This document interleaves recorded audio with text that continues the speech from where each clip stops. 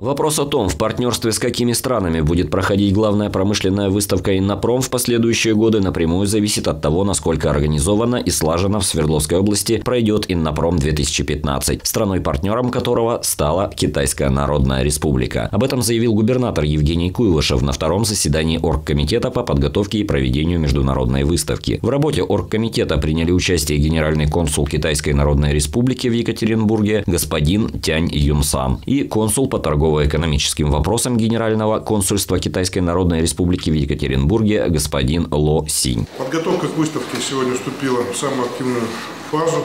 В этом году выставка пройдет в новом формате. Во-первых, по предложению президента России страной-партнером Инопрома выступит Китай. Во-вторых, в рамках Инопрома будет организовано пять специализированных тематических выставок.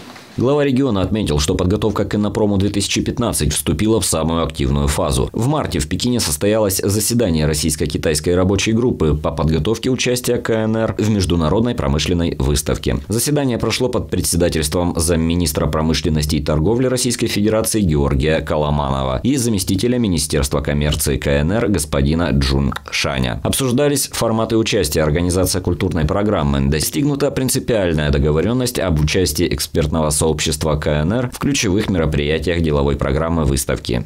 Ожидается, что деловые делегации двух стран возглавят руководство э, стран, а в рамках выставки состоится бизнес-саммит России и Китая.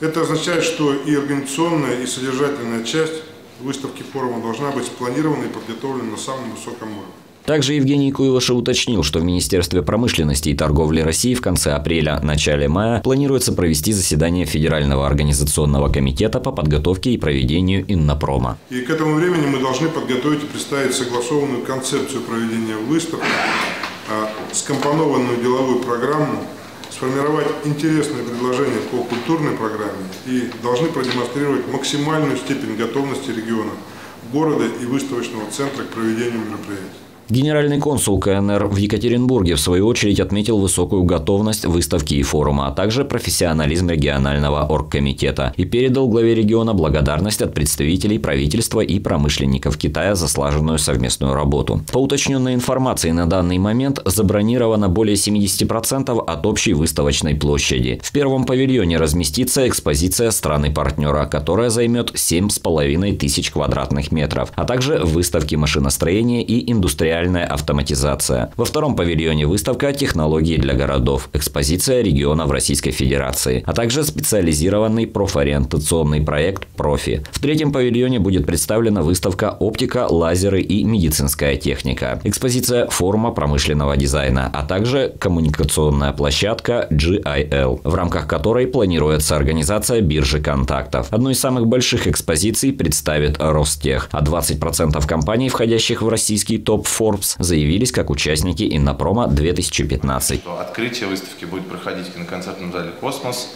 7 июля а, вечером.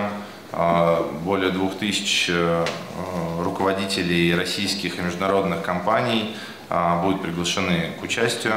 У нас будет э, красочное шоу, это порядка около полутора часов э, запланированный формат. Проведение мероприятия такого формата в нашем регионе в первую очередь позволяет привлечь к нему внимание потенциальных инвесторов. Даже те предприятия, которые находятся в небольших муниципалитетах вроде нашего Артемовского городского округа и не принимающие участие в выставке гигантов индустрии, могут стать объектом внимания тех, кто готов вложить свои средства в развитие того или иного производства, поскольку могут производить сопутствующую продукцию. Однако, если отойти от тем глобальных, наверняка многим артемовцам будет по-человечески интересно побывать на выставке. Своими глазами увидеть последние технические достижения со всего мира, неожиданные инновации в той или иной сфере.